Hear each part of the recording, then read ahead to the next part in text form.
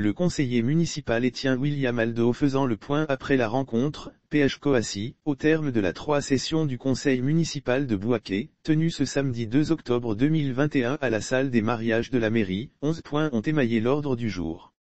Face à la presse au sortir de 4 heures de délibération, le porte-parole du conseil municipal, le conseiller Étienne William Aldo a fait le point des grandes mesures prises. C'est un conseil très spécial qui nous projette dans l'exercice 2022, l'adoption du programme triennal 2022, 2023, 2024. Le Conseil a donné son quitus à l'adoption du programme triennal 2022 à 2024. Ce programme triennal se subdivise en 51 actions d'un montant global de 564 millions de FCFA. De toutes ces actions, nous avons trois actions novatrices qui mettent Bouaké en face de certaines responsabilités. Désormais, la commune a en charge les coges et nous avons mis un financement conséquent. Le deux points est l'appui que la mairie apporte dans le cadre du projet Bouaké Ville Durable.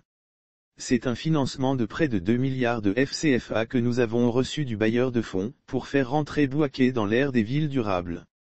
Il y a une cote-part que nous devons apporter à ce projet.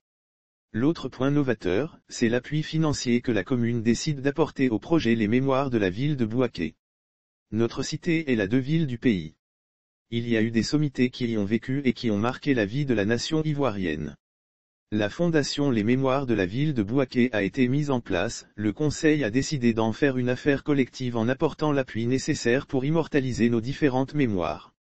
Au niveau des opérations, nous avons maintenant 40 opérations qui cumulent à près des 1,760 milliards de FCFA. Pour l'année 2022, on a 39 actions qui vont coûter 562 832 000 FCFA.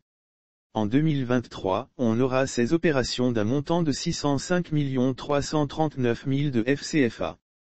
Quant à l'année 2024, elle va brasser 8 opérations qui coûteront environ 590, 4 millions de FCFA. Avec tout ceci, Bouaké se dote d'un budget encore plus réaliste. Pour ce qui est des grands chantiers en cours dans notre ville, notons que le grand marché de Bouaké, GMB, est en roue libre. Les constructions se poursuivent et la livraison des premiers bâtiments est prévue pour 24 mois. Pour l'heure, toutes les étapes sont respectées, nous avons approché l'opérateur pour que ce délai de 24 mois soit raccourci. Ce ne serait pas mauvais d'essayer d'aller vite parce que la population de Bouaké est impatiente et nous sommes totalement d'avis avec elle. Pour les projets Piduca, hôtel de ville, stade de Yaoundé, aménagement de LA3, cofinancé avec la Banque mondiale, nous tablons sur 21 mois pour tout boucler et les mettre à la disposition de nos concitoyens. Le Conseil a donné son quitus pour valider les recommandations de la dernière mission de la Direction générale de la décentralisation et du développement local, DGDDL.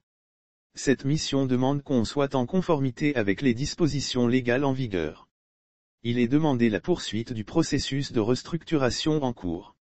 Il y a un cadre organique type des supracommunes à appliquer rigoureusement, aussi bien la grille, le profil et l'effectif exigé par le cadre, de même que le taux de la masse salariale dans le budget global. Point, a expliqué le conseiller municipal Étienne William Aldo.